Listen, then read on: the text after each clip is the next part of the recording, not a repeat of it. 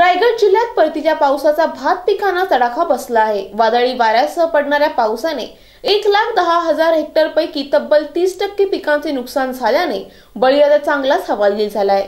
निसर्गाच्या अवकृपेमुळे शेतातील पिकांचे झालेले नुकसान पाहण्यापलीकडे शेतकऱ्यांच्या हातात काहीच नसल्याने त्यांना यंदाच्या उत्पन्नावर पाणी सोडण्याची वेळ आली आहे रायगड जिल्ह्यामध्ये गेल्या पंधरा दिवसांपासून अधूनमधून पावसाचा तडाखा बसत आहे.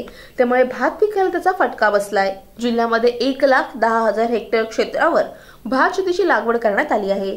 यावर्षी विक्रमी पीक येणार असल्याचे आडाखे कृषी विभागासह शेतकऱ्यांनी बांधले होते. मात्र परतीच्या पावसाने शेतातील उभे पीक भुईसपाट झाले आहे.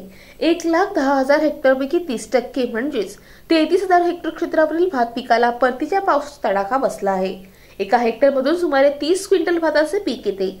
त्यानुसार तेहतीस हजार हेक्टरवरील नऊ लाख नव्वद हजार क्विंटल भाताचे नुकसान झाल्याचे दिसून येते. त्यामुळे शेतकरी हवालदिल झाले आहेत.